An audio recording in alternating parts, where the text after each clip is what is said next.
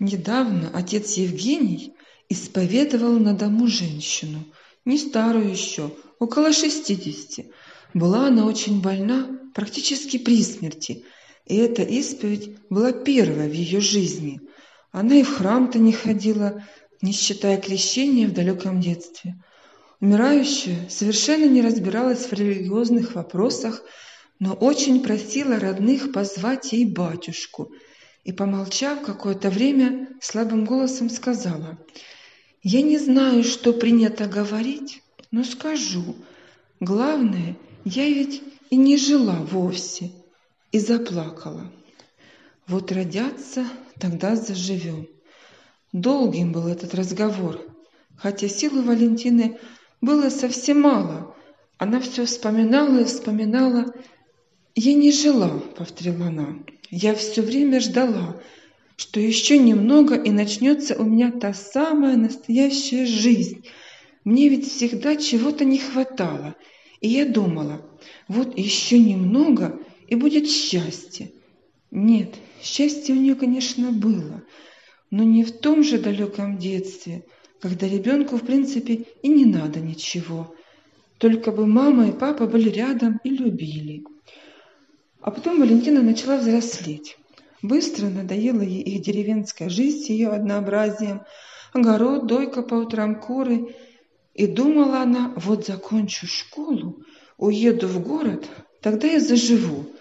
Уехала, поступила в училище.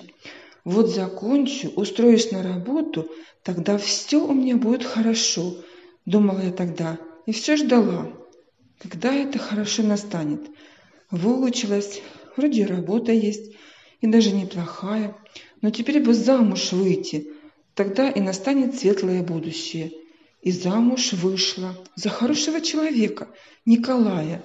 Но первые годы не было детей.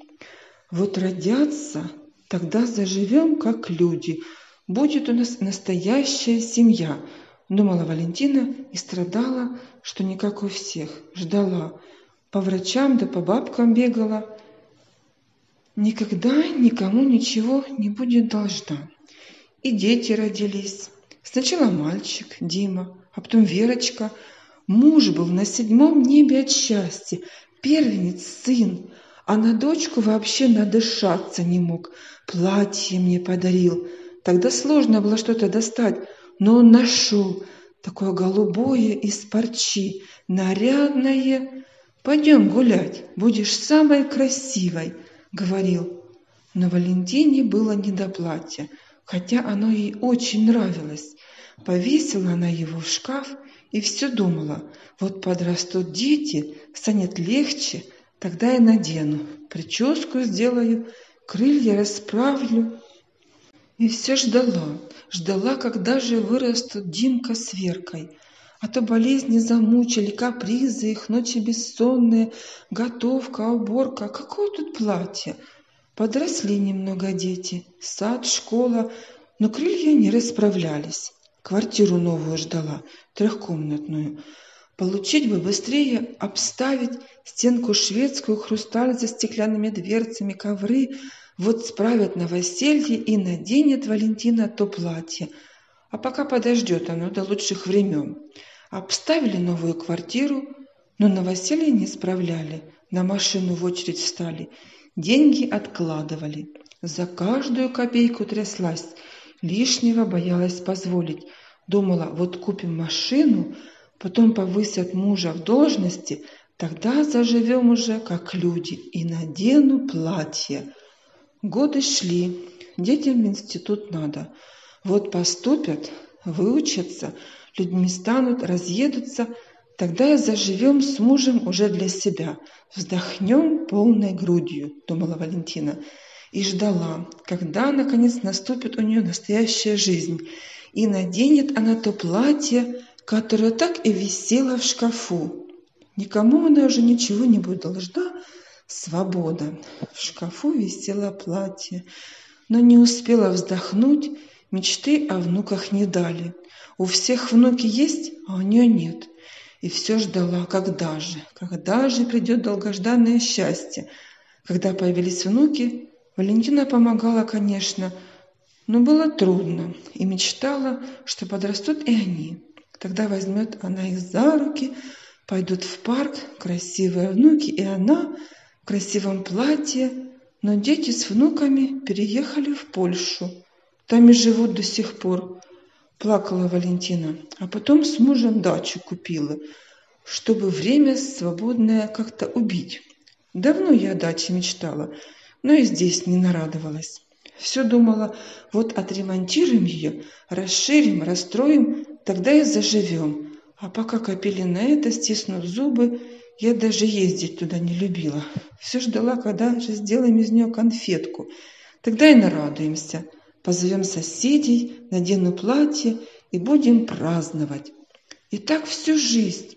Зимой ждала Валентина лето, летом зиму, в жару дождя, в дождь ждала солнца, и все будущего какого-то ждала. Жизнь на потом откладывала, говорила она отцу Евгению. Меня подруга все в храм звала, а я говорила, вот постарею потом.